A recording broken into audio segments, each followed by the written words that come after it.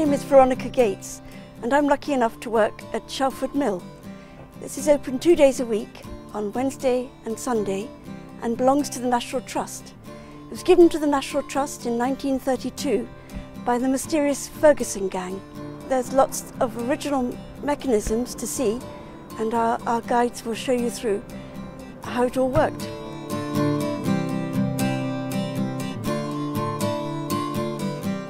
Shalford is a, a, lovely place to live. It's got the green and a pond, uh, three pubs, and I've lived here most of my life really.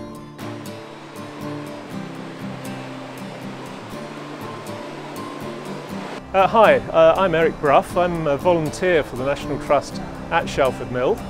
Uh, I live in Shalford itself and it's a lovely, pretty Surrey village.